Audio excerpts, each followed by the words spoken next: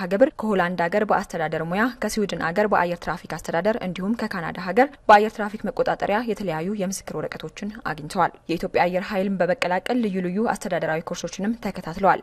በ1940 ዓ ም በአየር መቃወሚያና በረራ መቆጣጠሪያ ማዕከል ረዳት መምህር በመሆንም ሰርተዋል። በ1947 የኤርትራ ፌዴራላዊ መንግስት የሲቪል አቪዬሽን የበላይ አዛዥም ነበሩ። ኢትዮጵያ ከኤርትራ ጋር በፌዴሬሽን ተቀላቅላ እርሳቸውም በ1959 የሲቪል አቪዬሽን ዋና ዲሬክተር ሆነዋል። በዚህ ቆይታቸውም ስልጣኑ የብዙ ሰዎችን ጥቅም የሚነካ ቦታ ስለነበር እኔ እንደ ሀገር ነው የማስበው፣ ኢትዮጵያውያኖች መብዛት አለባቸው፣ አብራሪዎች ኢትዮጵያዊ መሆን አለባቸው፣ የውጭ ሀገር ሰዎች መቀነስ አለባቸው ነው የሚለው። አውሮፕላኑ ላይ ያለው ምልክት ሁሉ ያስለወጥኩት እኔ ነኝ ይላሉ። ከቁጥርና ከሌላ ተቀጥላነት ኢትዮጵያዊነት ወይም ኢቲ ተብሎ እንዲጠራ አድርጊያለሁ ይላሉ። ከእድሜ መጽሔት ጋር በነበራቸው ቆይታ ይህንን በማድረጋቸውና ኢትዮጵያዊ ይብዛ በማለታቸው በነጮቹ ቅሬታ ስለተነሳ ከሲቪል አቪዬሽን ወደ ትራንስፖርት መገናኛ ተዘዋውረዋል። በ1953 ዓ ም የፓርላማ አባል ለሶስት ተከታታይ ዓመታት የፓርላማ ፕሬዚደንት፣ በዓለም አቀፍ የፓርላማ ማህበርም አገራቸው ኢትዮጵያ የፓርላማ መቀመጫ እንድታገኝ ከመስራታቸው በላይ በ52ኛው ዓለም አቀፍ የፓርላማ ስብሰባ ላይ ተቀዳሚ ፕሬዚዳንት ሆኗል። ይህንን ናሁ ቴሌቪዥን ጋር በነበራቸው ቆይታ ተናግረዋል። የእኔ ደጋፊ የኢትዮጵያን ፓርላማ የዓለም ፓርላማ አባል እንዲሆን ያደረግኩ እኔ ነኝ። የመቶ አለቃ ግርማ ወልደ ጊዮርጊስ የቅርብ ዘመዶችና ጓደኞቻቸው እንዲህ ገልጸዋቸዋል። አሰፋ ከስቶ ይባላለሁ።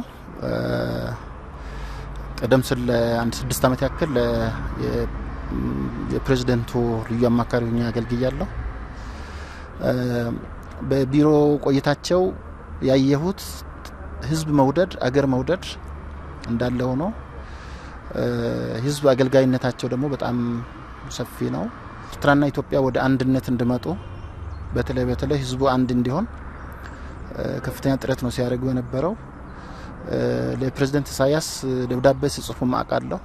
በስራ ምክንያት ካለኝ ቅርበት የተነሳ ህይወታቸው በድንገት በማለፉ ልቤ በጣም ነው የተሰበረው እና ነፍሳቸውን ማርላለሁ። ተሾመ ከተማ ወልደ ጊዮርጊስ እባላለሁ። የፕሬዚዳንት ግርማ ወልደ ጊዮርጊስ የታላቅ ወንድም ልጅ ነኝ። ሶስት መንግስት ውስጥ ተስማምቶ መስራት ትልቁ ፎከሳቸው ከሰው ጋር ሰዋዊ የሆነ ነገር እንደው ቀጥ ያለ ፖለቲካ ብቻ ሳይሆን ሰውን ከዛ አንጻር ያዩ ስለነበረ ከየትኛውም ጋር ትክክለኛ ስራ ሰራለሁ ብሎ እስካሰበ ድረስ አብረው ይሰሩ እንደነበረ በዚህም ደግሞ ተቀባይነት እንደነበራቸውና ክብር እንደነበራቸው ማበርከት የሚገባቸውን ሁሉ በህይወታቸው አበርክተው እንዳለፉ ነው የምረዳው። ኦርጌሳ ዋኬኔ ይባላለሁ።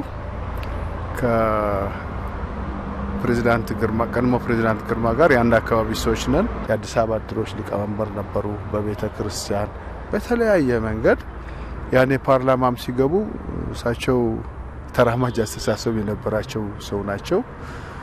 በኋላ ከመንግስት ስራ ውጪ በግል ስራ ሲኖሩ ለውጥ ሲመጣ በኃይለ ሥላሴ መንግስት ላይ የመርማሪ ኮሚሽን የሆነ ተመረጡ። ከዛ እሱ ሲቀር ደግሞ የአስመራ የእርቅ ኮሚቴ ምክትል ሊቀመንበር ሆነ ሄዱ። እሱ ሲፈርስ ደግሞ የሰሜን ክፍለ ሀገር ትራንስፖርትና መገናኛ ሚኒስቴር ተጠሪ ሆነው ሰሩ። እነዚህን ሁሉ ስራዎች ለሀገር ያከናወኑ መቶ አለቃ ግርማ ወልደ ጊዮርጊስ በ94 ዓመታቸው አርፈዋል። የሶስት ሴቶችና የሁለት ወንዶችም አባት ነበሩ። የቀብር ስነስርዓታቸው መቼ እንደሚከናወን ወደፊት በብዙሀን መገናኛ እንደሚገለጽ ለማወቅ ተችሏል።